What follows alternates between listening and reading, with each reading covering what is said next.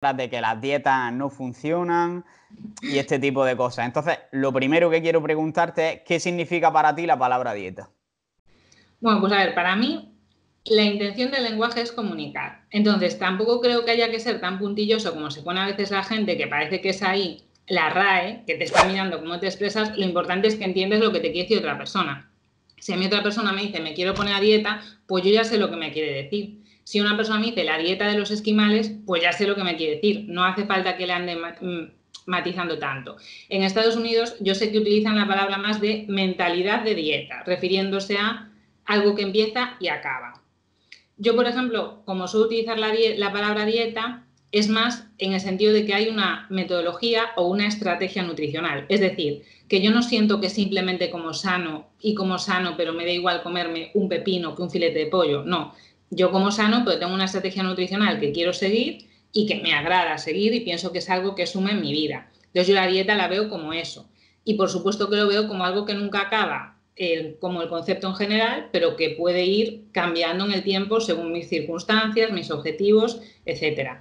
Pero que hacer de la dieta o la palabra dieta algo negativo, eh, para mí no, desde luego. O sea, y para empezar, que mi profesión se llama dietista, pues ¿cómo voy a decir eh, que la palabra dieta no me gusta? Pues claro que me gusta. Y me gusta hacer dietas y me gusta ver los resultados que tienen y experimentar con mi apetito.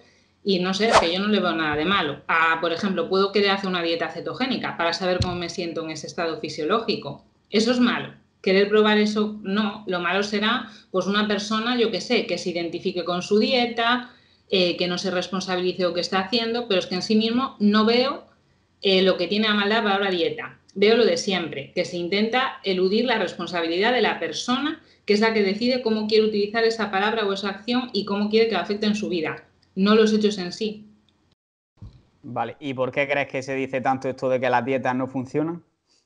Pues porque hoy en día eh, lo que se lleva es la educación alimentaria. En plan, eh, yo te voy a enseñar a comer, como si hubiese una asignatura en el cole que fuese alimentación saludable, que ya miras tú quién va a hacer esa asignatura, nunca se pondrían de acuerdo todos los nutricionistas del mundo, pero bueno.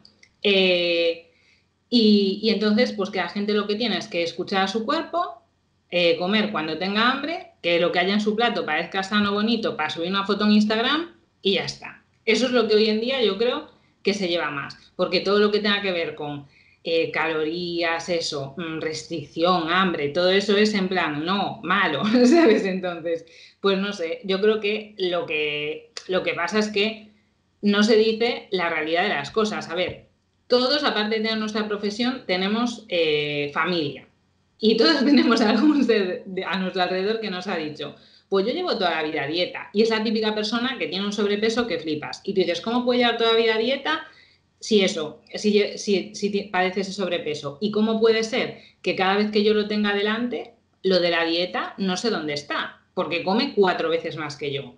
Pues entonces el problema no es la dieta, el problema es la conducta que tiene esa persona. Y muchas veces que es que la gente no quiere cambiar de hábitos, lo que quiere es el resultado, pero no quiere cambiar de hábitos. Entonces, si una persona quiere eh, estar delgada o bajar de peso, pero no le importa su salud, no le importa disfrutar de hacer algo que sabe que es sano para él, etcétera, pues ahí no se puede hacer nada. Pero yo no veo el problema en la dieta. Yo veo que esa persona, pues realmente no quiere cambiar de hábitos, pero eso, decirlo hoy en día, pues no está bien. Es como decir, pues sé que fumar es malo, pero fumo. Que para mí sería lo que se debería hacer. Que tú quieres fumar, fuma. Que quieres mantener tu sobrepeso, pues hazlo. ¿Quién es nadie para decirte que tienes que cambiar de hábitos si no quieres? Pero de ahí a decir que la culpa de eso lo tiene toda la dieta, para mí es igual que ahora con el rollo del medio ambiente que dicen la culpa de todos el capitalismo. Pues tíos, que no, no me parece que el capitalismo pueda tener la culpa de eh, todo, ni que en los países que no hubiese otros sistemas económicos no hubiese también eh, contaminación ambiental, ¿sabes? Pues a mí esto me parece lo mismo, balones fuera. Y los cambios tienen que estar dentro de la persona. Y si tú le refuerzas a la persona que el problema es lo de fuera, el problema es lo que siempre te han dicho. El problema es tal. O sea, tú no tienes la culpa, ¿eh? Tú de, todo lo que te ha pasado hasta los 40 años, eh, tú pasaste por ahí por la vida y te llovía encima. No, pues bueno, por ignorancia, por lo que sea, pero tú eres responsable. Y cuando eres responsable, puedes cambiar eh, las cosas que te pasan. Y a mí eso me parece maravilloso. Por eso no me gusta eh, lo de echarle la culpa a la dieta y ese tipo de conceptos externos a la persona. Esto es un poco parecido a que, bueno, que directamente la gente, cuando es algo que no está bien visto desde fuera, sus valores reales, es como que de palabra no se atreven a decirlo, pero sus actos al final le revelan. Por ejemplo, la típica excusa de no tengo tiempo para hacer ejercicio. En realidad, no, significa que estás priorizando otras cosas antes de hacer ese ejercicio. Y te pongo un ejemplo muy claro que lo puse el otro día en Instagram, que es una persona que entre a trabajar a lo mejor a las 10 de la mañana y luego sale a las 7. Quiere estar con su familia, entonces por la tarde no puede ir, no puede ir a trabajar. Pues puede ir antes, de, antes del trabajo, a lo mejor de 8 a 9, luego se ducha y va a trabajar. Sin embargo, si a ti te ponen otro horario que a lo mejor no te, no te permite, me estoy liando un poco, ¿vale? A ver, es, al revés. Imagínate una persona que entra a las 8 de la mañana.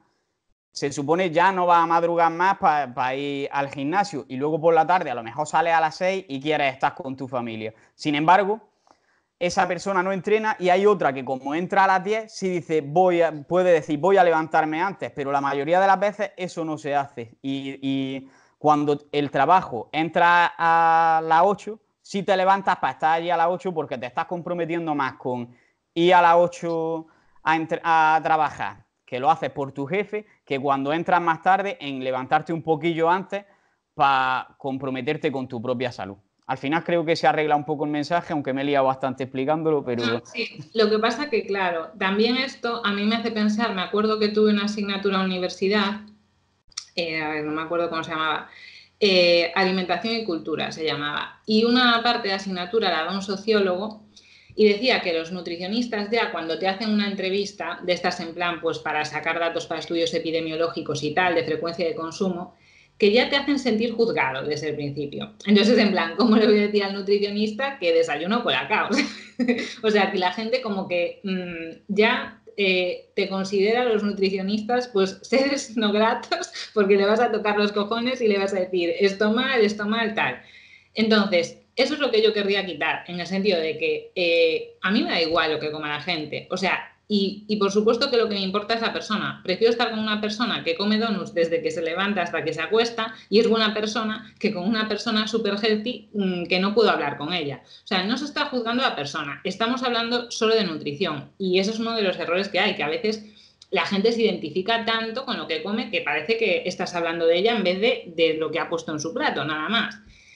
Y lo de la cuestión de prioridades, eh, pienso que es totalmente cierto que obviamente también sí que vivimos en un sistema que pone muy difícil a muchas personas sacar tiempo para hacer ejercicio físico y ya si te pones ejercicio físico, actividad física, los no sé cuántos mil pasos al día, em, mi meditación, ir a la compra, comprar ecológico, no sé qué tal, al final solo vas a vivir para ser sano, pues vaya mierda de vida, ¿no? La salud no debería de ser un objetivo ahí que estar persiguiendo para darle sentido a tu vida. Entonces sí que pienso que el sistema lo pone difícil pero que si me fijo en personas de mi entorno, que no es una muestra representativa, pero bueno, eh, que sí que es cierto que va a personas, que creo que es un poco el ejemplo que tú querías decir, por ejemplo, mi padre se va muchas veces de trabajar, pues va a trabajar a las siete y pico de la mañana, sale de casa y tiene que hacer viajes largos y tal, y a las ocho y media o a las nueve se va al gimnasio a hacer una clase de spinning o se apunta a un equipo de patinaje. Toda mi vida he visto a mi padre de una forma continua que se molesta por buscar un hueco para hacer ejercicio físico. De pequeña yo ir a correr con él o ir a andar por el monte, o sea, siempre lo ha hecho. Y claro que ha habido momentos en su vida en los que ha tenido que suspender, pues cuando mi madre estaba enferma, por supuesto, pero son momentos puntuales. Puede haber un momento en tu vida que no puedas hacer deporte, pero desde que has nacido hasta los 50 años no tienes tiempo para hacer deporte, pues yo eso no me lo creo. O aunque sea los fines de semana, es que no quieres y no pasa nada por decir que no quieres. Yo hay cosas que no quiero hacer. A lo mejor es lo que también le pasa a la gente, que se siente insegura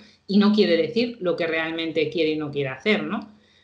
Pero bueno, no sé, mm, que es cuestión de prioridades, eso también te da el tema de la responsabilidad, porque te da a entender que si tú quieres, lo podrías hacer. Si tú ya piensas que eres una víctima del ambiente, pues no puedes hacer nada. Exacto. A ver, yo el ejemplo que quería decir dos personas que trabajan la misma cantidad de horas, pero una entra a las 10 y sale a las 5, por ejemplo. Perdón, entra a las 8 y sale a las 5. En ese caso, esa persona llega y cuando sale a las 5 dice, pues tengo de 5 a 10, por decir algo, para entrenar. Y es más normal que vaya a entrenar. Sin embargo, una persona que trabaje el mismo número de horas, pero entra a las 10 y en vez de salir a las 5, sale a las 7, es muy probable que diga, para dos horas que tengo yo para descansar, no me voy a ir a entrenar. Sin embargo, ha trabajado las mismas horas, en teoría tiene el mismo tiempo, solo que se ha desplazado el trabajo, pero no está dispuesto a madrugar por su salud y sí estaba dispuesto en el otro caso a madrugar por cumplir con su jefe, por así decirlo. Sí, pero y, todas las personas que al final, el cuerpo, yo creo que eso es lo único que nos salva, que al final el cuerpo es sabio y acaba reforzándote positivamente para que te adhieras a esos hábitos. Porque yo he entrenado a las 6 de la mañana, a las 2 de la tarde, a las 7 y, y te diría, ¿cuál es la que me gusta para entrenar? Pues la que tenga. Lo que sé es que no quiero vivir sin hacer deporte, eso es lo que tengo claro. Me da igual, yo no soy deportista de élite, no tengo que sincronizar, sincronizarme ahí con los ritmos circadianos de nada. Yo tengo que hacer mi deporte, con eso ya me llega pero lo quiero hacer y lo defiendo. Y aunque el fin de semana tenga que dejar de hacer una cosa con lo que sea, porque vamos a ver, no tienes que entrenar tres horas, a no ser que seas triatleta o algo así, la gente normal, aunque sea hacer un entrenamiento tipo HIIT con el peso de su cuerpo de media hora, el bien que le haría eso y quita tanto tiempo realmente, yo no lo creo. Yo entreno en casa ahora por cuestiones de tiempo desde hace, desde hace bastantes años y noto muchísimo las temporadas en que no entreno a las que sí entreno. Y incluso a nivel psicológico los beneficios que te aporta. Entonces, yo creo que sí, que es cuestión de, prioridades y que vamos, que mira que nos han inventado cosas, plataformas online de entrenamiento, eh, libros que te puedes descargar, eh, pues tipo de fitness revolucionario para entrenar en tu casa. O sea, hay cantidad de información y cantidad de ayuda para que quien quiera pueda entrenar, pueda comer sano muchísimo más de lo que había antes. Yo por lo menos lo veo así. Totalmente. Y siguiendo un poquillo con el tema de la mentalidad en la dieta, yo veo como que hay dos corrientes de mentalidad cuando una persona va a un dietista o a un nutricionista. Uno es el que llega y solamente quiere que le dé un papel y decir voy a comer esto y ya está. Y luego hay gente que se preocupa un poquito más por entender por qué tiene que hacer lo que hace. ¿Crees que es importante esto de entender lo que hace?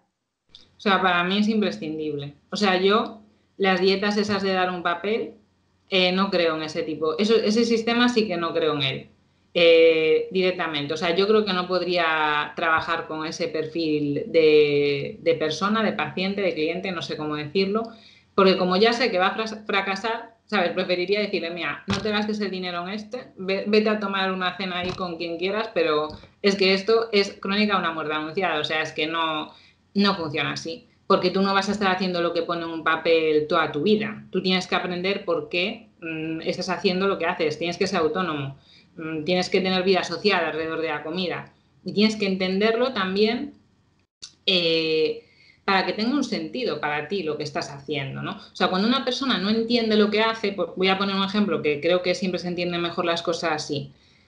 Una persona, la típica que está acostumbrada a comer platazo de pasta o de arroz, mm, una verdurita y un trocito de pollo, o sea, puros hidratos con su salsa de tomate con tal. Si esa persona entiende lo que tú decías antes, que eso es lo normal, y tú le dices, no, puedes comer pasta, pero la tienes que pesar, te va a decir, ¿y por qué me tengo que restringir? Porque no entiende que realmente no es que se esté restringiendo, sino que su forma de comer es la que está dañando su sistema. Entonces hay que empezar desde la base todo el mundo se merece saber por qué lo que nosotros ya sabemos, que solo en los últimos 50 años hemos tenido esta disponibilidad de comida, para qué están hechos sus genes, que los hidratos de carbono y sobre todo en esa cantidad no son imprescindibles y menos para una persona sedentaria, o por qué es difícil que una persona sedentaria con un porcentaje de grasa elevado, si quiere comer así, consiga perder algo de grasa. O sea, si lo entiende, es como que tiene más opciones de querer hacerlo y que no lo vea como un sacrificio. Si eres como un niño pequeño que solo entiendes que no puedes tocar el enchufe porque tus padres te dicen que no, pues cuando tus padres no te estén mirando, metes los dedos en el enchufe porque tú lo quieres hacer. Pues cuando tú entiendes las cosas y tienes un poco de coherencia, pues al final dices, bueno, pues lo haré de otra forma, lo haré eventualmente, intentaré buscar la forma de que me guste comer así, me cuidaré, ver resultados positivos, cada vez me meteré más en el proceso. O sea, es que para mí no hay otra forma de hacerlo. O sea, el típico nutripolicía de esto sí, esto no, toma listita de, de, dieta o de alimentos prohibidos, alimentos permitidos, a mí eso me parece que no sirve para nada. Bueno, puede servir a corto plazo para perder unos kilos para tu boda, por ejemplo, pero nada más. Escucha cómo suena, voz imposible va a llegar ya, nadie me va a frenar, ahora soy yo el que se va a levantar. Escucha cómo suena.